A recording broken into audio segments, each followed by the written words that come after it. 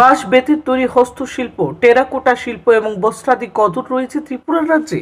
বাঁশ বেতের শিল্পকে অবলম্বন করলে অতি সহজে যে কোনো বেকার যুবক, যুবতী স্বাবলম্বী হয়ে উঠতে পারে। এর উপর নির্ভর করেই রাজ্যের মুখ্যমন্ত্রীর আত্মনির্ভর ত্রিপুরা গড়ার আহ্বান। যারা এই আহ্বানে সাড়া দিয়েছেন, তারা বর্তমানে এক প্রকার স্বাবলম্বী। তেলিয়ামুড়া মহকুমা অনতি দূরে অবস্থিত। হাতাই কাতর ইকো পার্ক তথা বর্মুড়া ইকো পার্কের ট্যুরিজম কমপ্লেক্সের মধ্যে ক্রাফট অ্যান্ড মোর নামক একটি স্বসহায়ক দলের মহিলার কাছ থেকে হস্তশিল্পের বিভিন্ন সামগ্রী ক্রয় করে তারা নিয়ে যায় এবং বিক্রি করে লাভের মুখ দেখলেও বিগত দুই বছর যাবৎ তেমন লাভের মুখ দেখছেন না বলে জানিয়েছেন এই শোরুমে থাকা জনৈক কর্মচারী। আমরা তো এসএসজি গ্রুপ বলতে মনে করেন প্রথমে তো আমরা ইয়তে কিন্তু আছি এই জায়গা প্রজেক্টের যে গান্ধীগ্রামে আছে, এখান থেকে আমরা মাল সংগ্রহ করি, ঠিক আছে? তারপর তো অনেকে, অনেক এসএসজি গ্রুপ আমার কাছে না অনেক সামগ্রী দিয়েছে সেটা।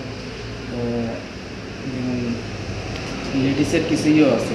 ড্রেস কোড আছে এরকম। আহ, এটি আইনা দিছে তারপর সেটা আরও অনেক সামগ্রী আছে আমাদের এখানে।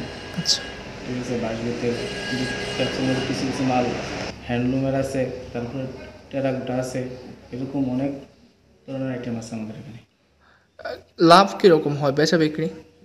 লাভ তো মনে করেন আমরা ফিফটিন পার্সেন্ট লাভ করি একটা জিনিসের বেচা কিনা কীরকম হয়? বেচা কিনি তো এই প্যান্ডামিক সিচুয়েশনে তো একটু বছর মানে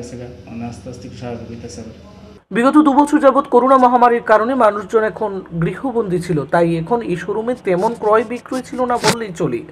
Report Allah international.